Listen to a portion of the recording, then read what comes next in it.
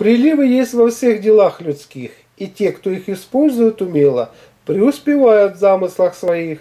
Так говорил Шекспир, но в том и дело, что вовремя увидеть надо их. И вот мы с вами поговорим, как увидеть эти знаки, чтобы преуспеть в жизни. 26 апреля, день Артемона, назван честь святого священномученика Артемона. Царствование Диоклетиана возникло великое гонение на христиан.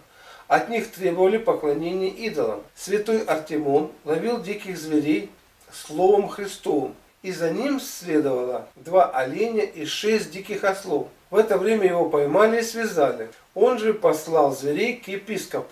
Звери пришли к нему, и олень сказал человеческим языком, что Артемона поймали и ведут на мучение за Христа. Одно из чудес, которое сотворил святой Артемон, было уничтожение змей в храме бога Асклепия. В этом храме жили змеи, которым развод приносили жрецы сладкую пищу. Святой Артемон смело пошел к этому храму змеи, точнее заключенные в них злые духи, не вынося приближения одаренного силою Христовую Артемона, подняли страшный свист и смятение в храме, так что он колебался точно дерево от ветра.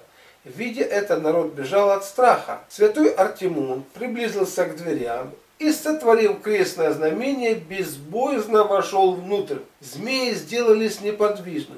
Святой обратился к истинному Богу с такой молитвой. «Господи Боже мой, через раба своего Даниила, сокрушивший Вавилонского вила и змея убивший, ты и теперь силою Твоею, через меня грешного, сокруши главы змей сих, чтобы прославилось Твое святое имя». Артемон приказал змеям следовать за ним, вышел вместе с ними вон – Увидев вышедших из храма змей, народ пришел в ужас и бросился бежать. Святой Артемон дунул на змей, и они тотчас стали мертвы, простершись пред ногами его, как пораженные молнией. Один из них был так велик, что имел пять локтей в ширину и двадцать пять в длину. Народе считалось, что сегодня трава медуница обладает целебными свойствами, поэтому отправлялись в лес – на ее заготовку.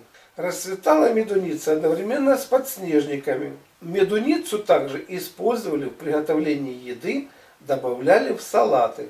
Сегодня также молились святой Фомаиде. В народе считали, что она помогает избавиться от блудных страстей.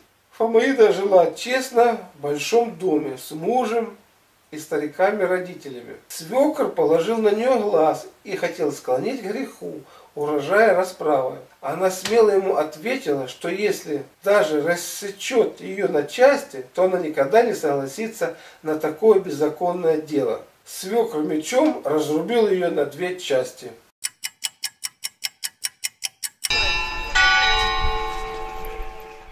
Двадцать первые лунные сутки. Энергетика этих лунных суток активирует творческие способности. В организме ускоряются процессы обновления и оздоровления. Особенно благоприятны совместные занятия по интересам. В течение этих лунных суток проявляйте высокие нравственные качества. Если вы решили сменить работу, то сделать это сейчас самое благоприятное время. Энергетика суток подавляет работу печени, поэтому в питании отдавайте предпочтение продуктам с кислым вкусом и красным цветом. Они поддерживают энергетику печени. А потребление животных жиров и белков ограничьте до минимума. Благодарю за просмотр.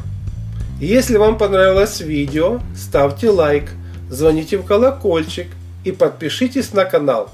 Ваше участие развивает канал и способствует его продвижению. Вы можете посетить бесплатно мою авторскую библиотеку на сайте Малахов Про.